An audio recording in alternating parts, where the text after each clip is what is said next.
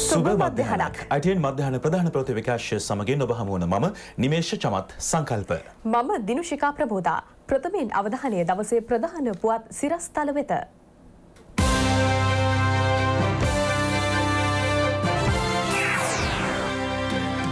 හිටපු ජනාධිපති කාර්යමණ්ඩල ප්‍රධානී ගාමිණී සෙනරත්නයෙහි නඩුව දිනපතා විභාගයට. පාසල් විෂයමාලාවට නීතියක්. පුහුණුව සමග රැකි අවස්ථා විසි පන්දහසක් සඳහා සම්මුඛ පරීක්ෂණ නයිටාහිදී. මිසයිල් එල්ල කරන ස්ථාන වසාදමීමට උතුරුකොරයා නායකයා එකඟ වේ.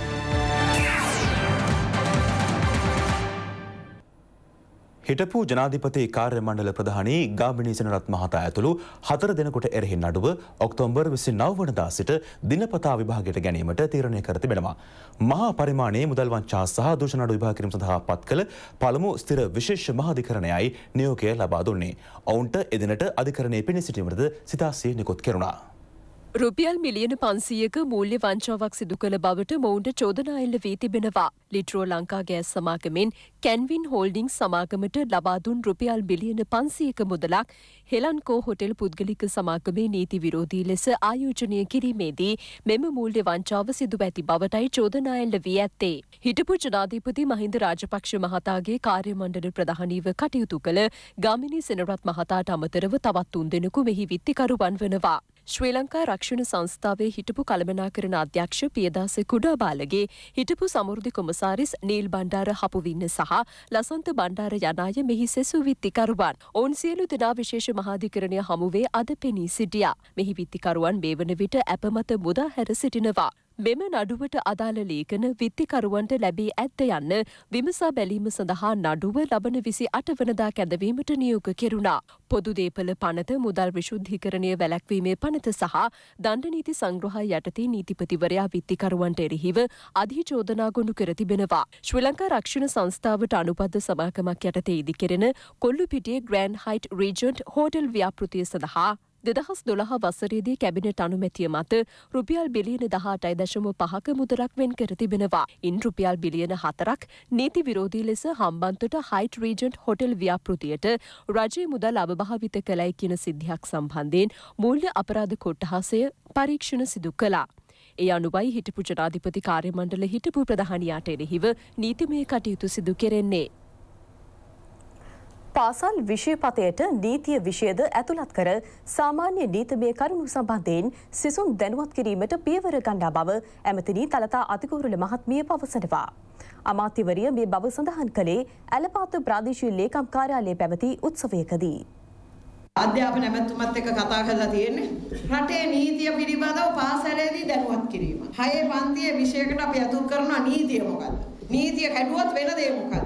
රජයේ මුදා රජයේ දේපල වලට හානි කරොත් මොකද්ද ලැබෙන තත්ත්වය? මොනවද මේ නීතිය තුල තියෙන්නේ? හත වසරේදී තව ටිකක් උගන්වනවා අට වසරේදී තව ටිකක් උගන්වනවා 9 10 11 දී දණ්ඩ නීති සංග්‍රහය යටතේ මේ රටේ දඬුවම් ලැබිය හැකි වරදවල් සහ මොනවද දඬුවම් කියන එක මරණීය දණ්ඩනය ලබන්නේ අද මත්කුඩු ව්‍යාපාරේ කාටවත් පාලනය කරන්න බෑ ලේසිම දේ තමයි එක් කට්ටියක් ඒ ටික ගේනවා එකම බලාපොරොත්තුව කෝටිපතියෝ වෙන්න. අද ඉන්න කෝටිපතියෝ ගණනාවක් හිරගේ ඇස්සේ. මේගොල්ලෝ මොකද්ද කරලා තියෙන්නේ මේ ග්‍රෑම් එකේ ග්‍රෑම් දෙකේ කතාවට අහිංසක තරුණ දරුවන්ගේ ජීවිත විනාශ කරලා තියෙනවා. අද රත්නපුරේ ගත්තොත් කුඩු පිරිච්ච නගරයක්. කාලයක් තිස්සේ මේ වැඩ ටික කර කර හිටපු මිනිස්සු වග කියන්න ඕනේ. අපි මොන අභියෝග ආවත් ඒව නවත්තනවා. අද පාසල් යන දරුවෙක් හරි අයිස් කියයි තව එකක් කියයි මේ එක එක ස්වභාවයෙන් දරුවෝ අතරට එන මේ මහා විනාශකාරී දේවල් අපි අතරින් තුරන් කරන්නට අපි කටයුතු කරන්නට ඕනේ. ඒවා පිළිබඳව නීතියත් එක්ක අපි පාසලේදී උගන්වන්න බලාපොරොත්තු වෙනවා. සමහර අය හිතන්නේ මේ අවුරුදු 20ක් නොකරපු දේවල් අපිට අවුරුදු 3ෙන් කරන්න පුළුවන් කියලා.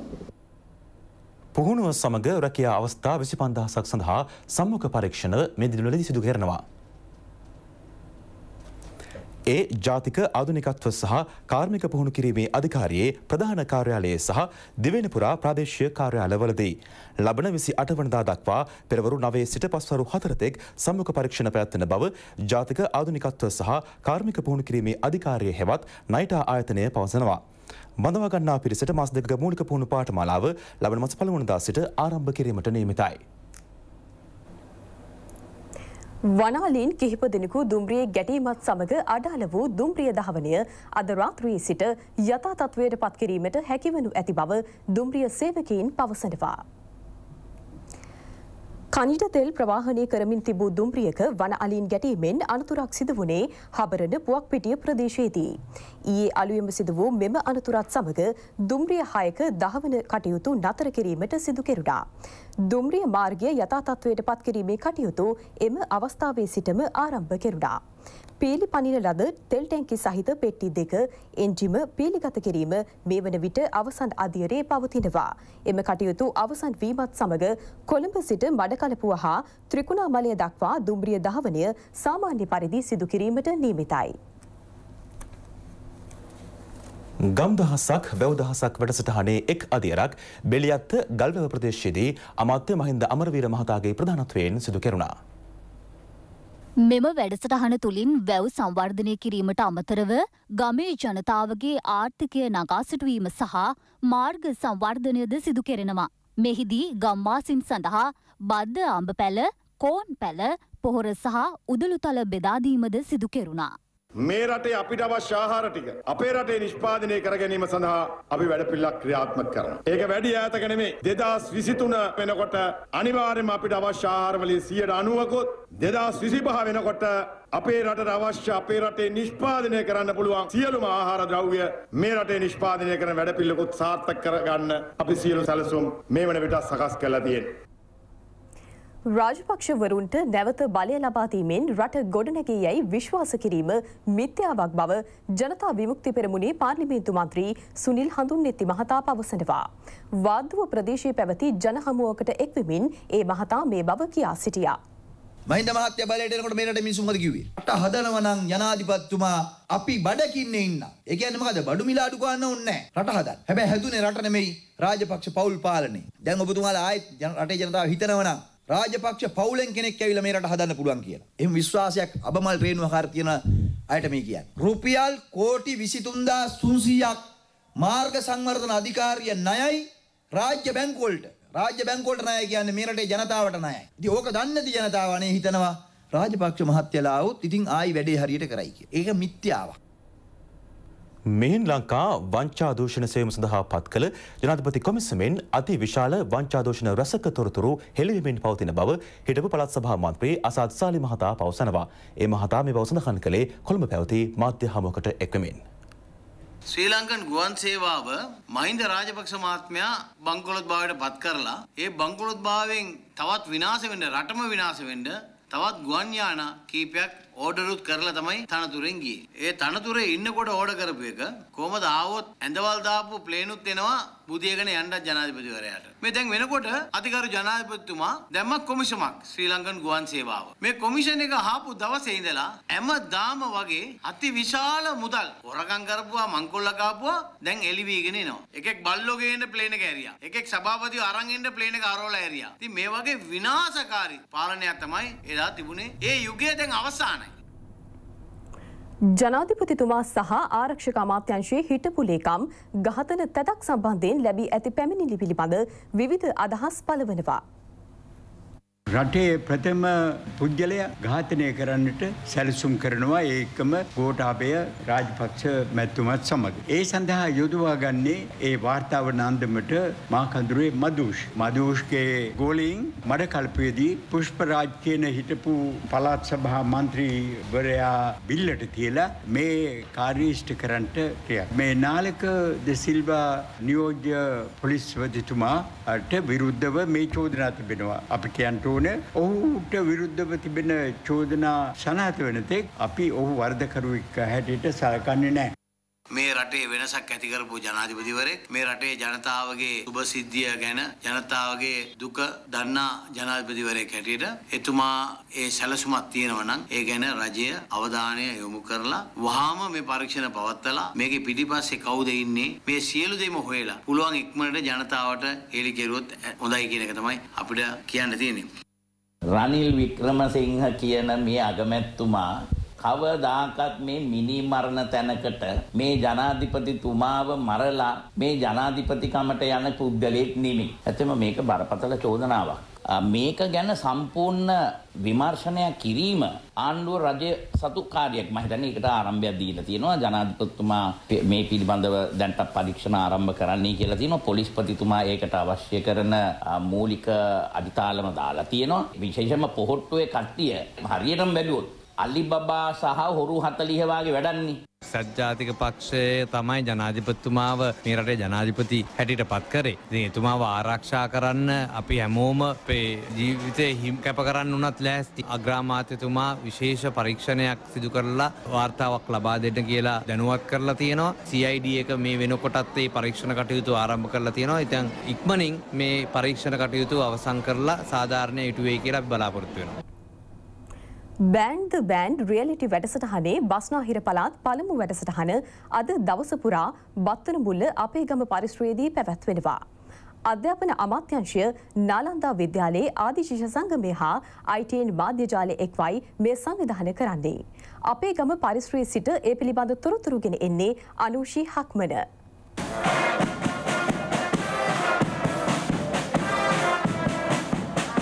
සුදි දිනුෂික අපි මේ මොහොතේ රැඳී සිටින බත්තර මුල්ල අපේ ගම පරිශ්‍රය. අපි දැන් බලාපොරොත්තු වෙන්නේ මේ බෑන්ඩ් බෑන්ඩ් සජීව රියැලිටි අත්දැකීම පටිගත කරන අවස්ථාවේ සිට ඔබත් එක්ක කතා බහ කරන්න මොන වගේ සංවිධාන කටයුත්තක්ද ඔබේ පැත්තෙන් මේ අවස්ථාවේදී අපිට දැක- දැක ගන්න හැකියාව තිබෙන්නේ. ඇත වශයෙන්ම අපි අ, නාලන්ද විද්‍යාලය ආදීශය සංගමය හැටියට අපට විශාල සංවිධාන ශක්තියක් තියෙනවා. ඉතින් ඒකට අපිට මහගු අත්තලක් වෙලා තිබෙනවා ස්වාධීන රූපවාහිනී ආයතනය දැවන්ත ශක්තියක් වෙලා තිබෙනවා. අද කොළඹ කළුතර ඒවගේම ගම්පහ දිස්ත්‍රික් තුන ආවරණය කරමින් පාසැල්වල තුරාද කණ්ඩායම් මේ ස්ථානට පැමිණ සිටිනවා. කිසිම අඩුපාඩුවක් නැතිව ස්වාධීන රූපවාහිනිය හරහා මුළු ශ්‍රී ලාංකික ප්‍රේක්ෂකයන්ට දැකගන්න පුළුවන් වෙයි ඉතාමත් සාර්ථක බ්‍රාස්බෑන් තරඟාවලිය. ඉදිරියට වෙන්න තියෙන මොන වගේ දෙයක්ද කියලාත් පොඩි ඉඟියක් ලබා දෙන්න. දෙවැනි වටේදී ඔබට දැකගන්න පුළුවන් මෙම තෝරාගන්නලද කණ්ඩායම්වල සුවශේෂ දක්ෂතා ඔවුන්ට ආවේනික අංගයන් තරඟාවලියට එකතු කරමින් ප්‍රසාංගික මට්ටමේ තරඟාවලියක් ඉදිරියේදී දැකගන්න පුළුවන් වෙයි. අපි ඔබට හැම ඉරිදා දවසකම රාත්‍රී හතේ සිට අට දක්වා අරගෙන එන මේ බෑන්ඩ් බෑන්ඩ් දෙරන දෙදරන මියස්සි අරුමැසිය ඔබට තවත් තොරතුරු අරගෙන නම් පැයින් පැය පුවත් විකාශවලදී.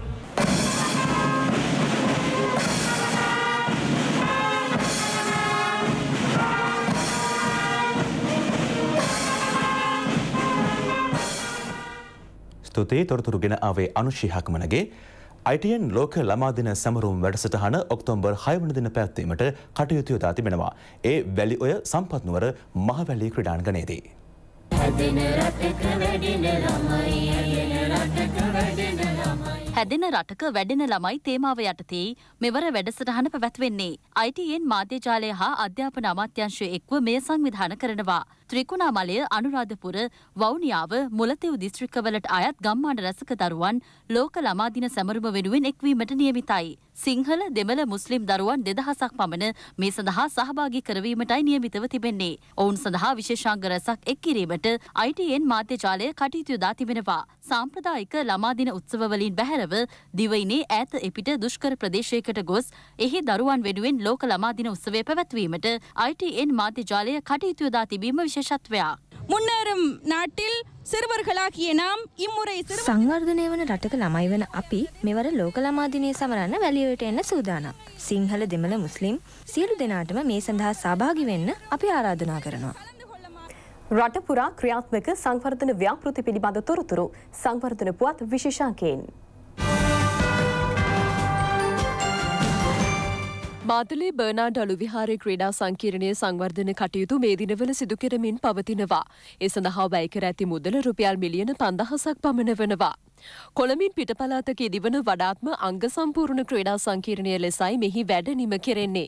ගෘහස්ථ ක්‍රීඩාංගනයක් පිහිනුම් තටාක සංකීර්ණයක් කෘතිම දහවන පතයකින් ඒ සමන්විතයි. මෙහි ඉදිකිරීම් රාජමාත්‍ය වසන්ත අලු විහාරය මහතාගේ නිරීක්ෂණයට ලක් වුණා. බලාපොරොත්තු වෙනවා ගෘහස්ත ක්‍රීඩාංගනය දෙසැම්බර් වෙනකොට එක විවෘත කිරීමටත් ඒක වැඩ සම්පූර්ණ කරලා තියෙනවා. පිහිනුම් තටාකයක් දෙසැම්බර් වෙනකොට විවෘත කිරීමට මේ වෙනකොට කටයුතු කරලා තියෙනවා. මේ ව්‍යාපෘතිය යටතේ තියෙන කෘතිම ධාවන පතයට මුල්ගල් තැබීමත් දෙසැම්බර් වෙනකොට තියන්න බලාපොරොත්තු වෙනවා. අපට මුදල් අමාත්‍යංශය තුලින් අයවැයේදී නන්දමිත්‍ර ක්‍රීඩාංගනයේ හොකි ක්‍රීඩාංගනය සඳහා මුදල් ප්‍රතිපාදන වෙන් වෙලා තියෙනවා. ඒකටත් අපි මුල්ගල් තියන්න බලාපොරොත්තු වෙනවා දෙසැම්බර් වෙනකොට. ඒකත් අංග සම්පූර්ණ හොකි ක්‍රීඩාංගනයක් හැටියට පත් කරන්නයි කටයුතු කරගෙන යන්න කියන එක මම මතක් කරන්න ඕනේ අපි මාතලේ ක්‍රීඩා පිටියේ සියලු සංවර්ධනය කරලා ජනතා අයිතියට පැවරීමට අප්‍රේල් විතර වෙනකොට කටයුතු කරගෙන යනවා. ගල්නෑව ප්‍රාදේශීය ලේකම් කොට්ටහශයේ අති දුෂ්කර ගම්මානයක් වන බුල්නෑව වලස්වැබ අඩු ආදායම් ලාභිහි පවුල් සඳහා නිවාස ඉදිකෙරෙනවා. මෙම නිවාස ගම්මානයට මුල්ගල තැබීම පාර්ලිමේන්තු මන්ත්‍රී ඉශාක් රහුමාන් මහතාගේ ප්‍රධානත්වයෙන් සිදු කෙරුණා. මාස හයක් ඇතුළත මෙහි ඉදිකිරීම අවසන් කිරීමට නීමිතයි. ගම්පහ දික්පිටිගොඩ ප්‍රජාශාලාව අමාත්‍ය ෆිල්ඩ් මාර්ශල් සරත් ෆොන්සේකා මහතාතින් විවෘත කෙරුණා. ඒ සඳහා වැයකර ඇති මුදල රුපියල් ලක්ෂ පණහක් පමණ වනවා. කැලණි ආසනයේ සංවර්ධන කටයුතු සඳහා ලබන වසර වෙනුවෙන් රජය විශාල මුදලක් වෙන් කර ඇති බව අමාත්‍යවරයා මෙහිදී ප්‍රකාශ කළා. රිකිල්ල ගස්කඩ හපුවල මාර්ගයේ රුපියල් ලක්ෂ එකසිය අනු හතක වියදමින් සංවර්ධනය කෙරුණා. ඒ ආසියනු සංවර්ධන මූල්‍ය අධාරය යටතේ. මාර්ගය සංවර්ධනය කිරීමෙන් පසු එහි නව බස් රථයක් දහවනයට එක් කිරීම හංගුරංකිත එක්සත් ජාතික පක්ෂ සංවිධායක පළාත් සභා මන්ත්‍රී ජයලත් බණ්ඩාර දිසානායක මහතාගේ ප්‍රධානත්වයෙන් සිදු කෙරුණා. රත්නපුර ඇලපාත ප්‍රාදේශීය ලේකම් කොට්ටහසය බාදුර ඇලහරහා කෙහෙල්ලෝ විටිගම කොහොඹ කන්දගම් යා කෙරෙමින් ඉදිකෙරුණු නව පාලම ජනතා අයිතියට පත් කෙරුණා. ඒ අමාත්‍ය තලතාතු කුරුල මහත්මියගේ ප්‍රධානත්වයෙන්. ඒ සඳහා රුපියල් කෝටි තුනක් වැය කර තිබෙනවා. පාලම නැතුව ගොඩාක් දෙනෙක් දුක්ින්ද කඩවලට බඩු ඇද්ද කරේ සමහර සම දවස්වලට ත්‍රිවිල්වත් යන බැරුව තිබුණා. සමහර වෙලාවට වැස්ස නිසා අපිට එගොඩමකට යන්නත් බැරි තත්ත්ව තිබුණා. ඒ වගේම මේ විහාරස්ථානයට දානය අරන් ගියෙත් බොහොම අමාරුවෙන්. අද අපිට මේ රජයෙන් ලබා දුන්න මේ පාලම පිළිබඳව මම රජයටත් සියලු දෙනාට දිස්ත්‍රාන්ත වෙනවා. කිරිඳිවල සංගමිත්තා විදුහලේ නව දෙමහල් තාක්ෂණික විද්‍යාගාරය පාර්ලිමේන්තු මන්ත්‍රී හර්ෂණ රාජකරුණා මහතාතින් සිසු අයිතියට පත් කෙරුණා. පාර්ලිමේන්තු මන්ත්‍රී ආශු මාරසිංහ දොම්පේ ශ්‍රී ලංකා නිදහස් පක්ෂ සංවිධායක පළත් සභා මන්ත්‍රී උපාලි ගුණරත්න මහතාද මෙම අවස්ථාවට එක් වුණා. ඒ සඳහා රුපියල් ලක්ෂ දෙසියක් පමණ වැය කර තිබෙනවා. රුපියල් මිලියන දෙසීයක වියදමින් නිදිකෙරුණු උස්වැට කෙයාව වැසි ජල කළමනාකරන ගේටු පද්ධතිය ඊයේ විවෘත කෙරුණා. ඒ පාටලි චම්පික රණවක සහ ජෝ නමරතුන්ගේ යන අමාත්‍යවරුන්ගේ ප්‍රධානත්වයෙන්. වත්තල ජායල කඳාන රාගම උස්වැට කෙයාව ඇතුළු ප්‍රදේශ රැසක ගංවතුර පාලනය කිරීම මෙමකින් සිදුවනවා. ශ්‍රී ලංකා ඉඩම් ගොඩ කිරීමේ සහ සංවර්ධනය කිරීමේ සංස්ථාවේ පනස්වන සංවත්සරයට සමගාමීවයි මෙම ව්‍යාපෘතිය ක්‍රියාත්මක කෙරුණේ. එම සංස්ථාවේ සභහපති රොෂාන් ගුණවර්ධන මහතාද මෙම අවස්ථාවට එක්ව සිටියා. මීරිගම දෙල්වල නාවුලු කන්ද කැපීම වහාම නවතා දමන ලෙස මහපොළව සුරකීමේ ජාතික සංවිධානය පාර්සරික සංවිධාන සහ ප්‍රදේශවාසයෙන් එල්ලා සිටිනවා. පසුගේ දාමස්ථානය පැවති මාධ්‍ය හමුවකදී මහපොළව සුරකීමේ ජාතික සංවිධානයේ කැඳවුම්කරු ආනන්ද ජයකොඩි මහතා පවසා සිටියේ මෙම පස්කන්ද කැපීම හේතුවෙන් ප්‍රදේශයේ පාරිසරික සෞඛ්‍ය හා සමාජික ගැටලු ගණනාවක් උද්ගත වන බවයි. මොකද දැන් මේ කන්ද කපාගෙන යනවා මේ ආරම්භය තමයි අපි මේ පෙන්වලා දෙන්නේ. අපට ගම්මානවල ජනතාවට තව ටිකක් කල් යනකොට මේ කන්ද කපා විනාශ කරොත් පානීය ජලය නැතුව යනවා. කොහොමද මේවට භූවිද්‍යායකයන් එහෙම නැත්නම් අනිකුත් ආයතන වලින් පරිසර බලපත්‍ර දුන්නේ?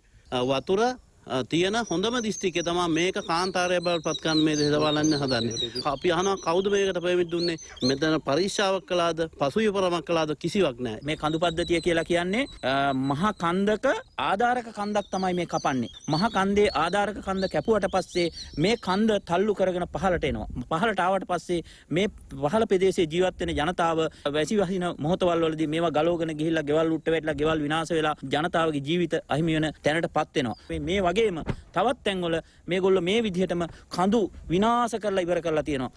පරිසර අමාත්‍යවරයාද වන ජනාධිපතිතුමාගේ අවධානය යොමු කර මෙම ප්‍රදේශයේ සිදුවන පරිසර විනාශය වළක්වන්නයි ආනන්ද ජයකොඩි මහතා ජනාධිපතිතුමාගෙන් ඉල්ලා සිටියා. පවතින දැඩි නියගේ හේතුවෙන් දිවයිනේ ප්‍රදේශ කිහිපයක ජනතාව දැඩි අසීරුතාවකට පත්ව සිටිනවා. අනුරාධපුර දිස්ත්‍රික්කයේ ගම්මාන රැසක ජනතාව නියගේ නිසා උග්‍ර ජලහිඟයකට හා ආහාර හිඟයකට මුහුණ පා සිටිනවා. නාමල්පුර මෛත්‍රී ගම හල්මිල්ල වැව ආදී ප්‍රදේශවල ඇලතුළ සියල්ල සිඳී ගොස් ඇති ආකාරය දැක ගැනීමට පුළුවන්. කෘෂිකර්මාන්තය හා ගවපාලනයෙන් ජීවත්වන ජනතාව ජලය නොමැතිව පත්ව සිටින්නේ දැඩි අසීරුතාවකටයි. සිඳී ගිය වැව්වල වලවල් හාරා ජල අවශ්‍යතා සපුරා ගැනීමට මොවුන් කටයුතු කරනවා.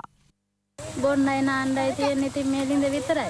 මේකෙත් වතුර ගන්න ගොඩක් අමාරුයි පොළමේ ඉඳලා තමයි වතුර ගන්න. දැන් මේ මේ නල ලිඳ නැත්තම් මේ කට්ටියට සදාටම නාන්න නැහැ. නාන්න යනවා නම් හුරුළුවට යන්න ඕනේ කිලෝමීටර් 15ක් විතර තියෙනවා. ඒ යනකොට වල් අලින්ගේ කරදරේ පුදුම දුෂ්කරතාවයකට මැදිලා තියෙන්නේ. දැන් අවුරුදු දෙක තුනක් ඉන්නේ වැවට වතුර නැහැ කුමුරු කරන්න හේන් ගොවිතැන් කරන්න විදියක් නැහැ. මේ මේවා බොණ්ඩක් බෑ හරකුන්ටත් ඉතින් බොණ්ඩ බෑ. දැන් මේ වෙනකොට 13 දෙනෙක් මැරලා තියෙනවා මේ මෑත කල්ලි. වකුගඩු ගඩු වලින් තමයි නැති වෙන්නේ. මග බලාගෙන. ඕකට කීයද ඕක ටික? 15. ඈ? වෞනියාව දිස්ත්‍රික්කයේද නියගේ හේතුවෙන් ජලබූලාස්ට්‍ර රැසක් සිඳී යාමේ තර්ජනයකට ලක්ව තිබෙනවා. මේ නිසා ප්‍රදේශයේ ජනතාවට ජලය සොයා බොහෝ දුරබැහැර ප්‍රදේශවලට යාමට සිදුවනවා. ජලය නොමැතිකමින් වකුගඩු රෝගය ඇතුළු රෝග රැසකට ජනතාව ගොදුරු වී සිටිනවා. කෙසේ හෝ ජලය ලබා ගැනීම සඳහා අවශ්‍ය ජලපෙරණ යන්ත්‍රයක් ලබා දෙන ලෙසයි ජනතාව ඉල්ලා සිටින්නේ. සෙවනගල ප්‍රදේශයේ උක්වගාවද නියගේ හේතුවෙන් විනාශවීමේ තර්ජනයකට ලක්ව තිබෙනවා. හතේ කනුව හුලං කපොල්ල වාසනාගම ඇතුළු ගම්මාන රැසක උග්ගොවීන් මේ හේතුවෙන් දැඩි අසරණ තත්ත්වයකටයි පත්ව සිටින්නේ. මාස දැන් හයකින් දම්ම දැන් ගොයින්ට වතුරයි වගාව දැන් කපාගන්න විදින්න පවනක් කෙවලාට දැන මේ නීගෙත් එක්ක කරටි කඩාගෙන යන්න තරම් උගස් සේර මැරල තියෙන්නේ. ගොවියෝ විශාල ප්‍රමාණයක් බොහොම අසීරුතාවයකට පත් වෙලා තියෙන්නේ මේ දැඩි නියගේ නිසා.